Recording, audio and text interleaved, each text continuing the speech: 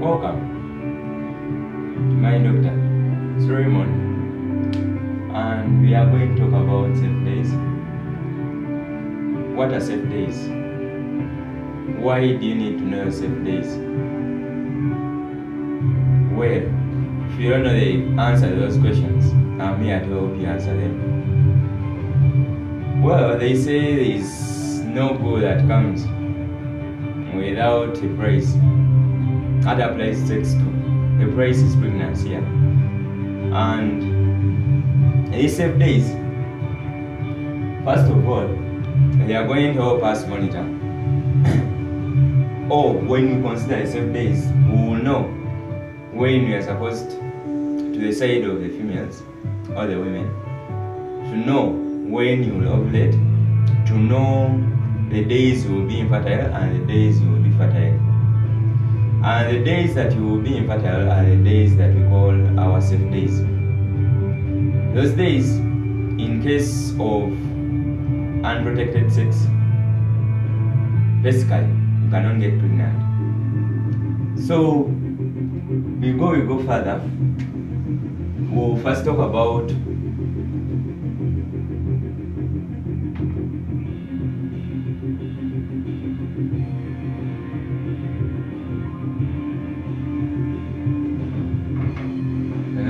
cycle. What do you never the menstrual cycle? Here, under the to cycle, we have basically three stages. We have the pre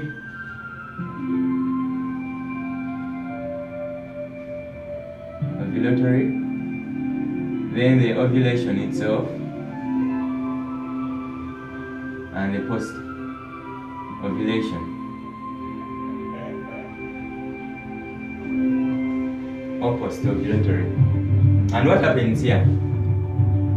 Here we have a total of 14 days.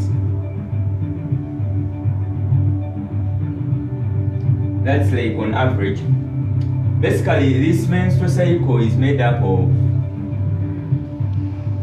it's made up of on average supposed to be 28 days, or that's a month of the menstrual cycle. And this can range from 28 from 26, 28, and 32. And this is the range we are taking for our safe days. And if your month doesn't fall between these, from 26 to 32, this won't help. We'll have to use another method. So when we come to the pre-ovulatory, we have this day 1 to the 14th day. That's for the case of the 28th calendar. So Day one, how do you know this is day one? Day one is the day when you first see your menses or the blood. We mark that as our day one. And this can take two, it can take three to five days, depending, or even seven days to some people. But from it continues from those five days to 14 days, that's the period on 14 days or to the 13th day.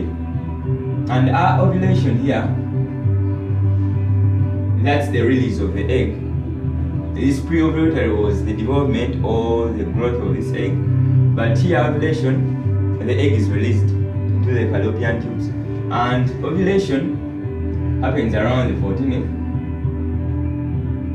and the 16th. That's the period when the egg is released. And this period, that's when the egg is is very viable or it can be fertilized by the sperm. Then we have the post-ovulatory.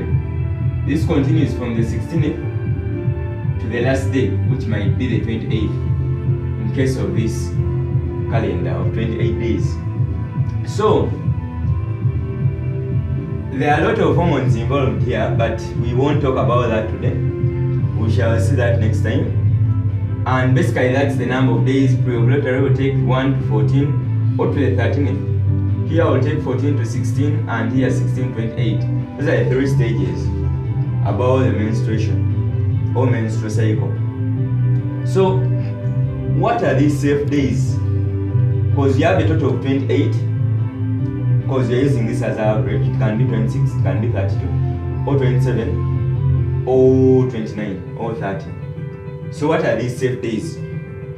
These safe days are the days when somebody is infertile or when this egg is not available at the moment and case, the person cannot get pregnant. And these safe days, well, as a method of preventing pregnancy, I would say it's cheaper because you don't need to apply anything or buy anything to control.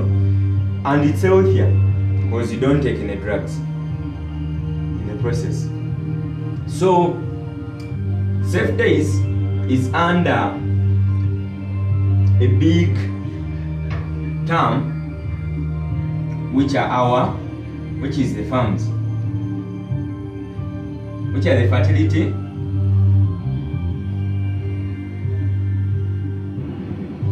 Fertility awareness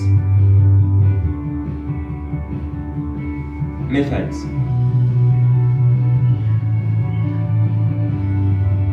It's under this the fertility awareness methods that we can determine our safe days fertility awareness methods can be like the methods we use to know the time when we would have the ovulation take place. And then it's the same time it's the same method that we'll use to know which days are safe for us. So we are going to cover this in our next video. And don't remember to subscribe to my doctor. Thank you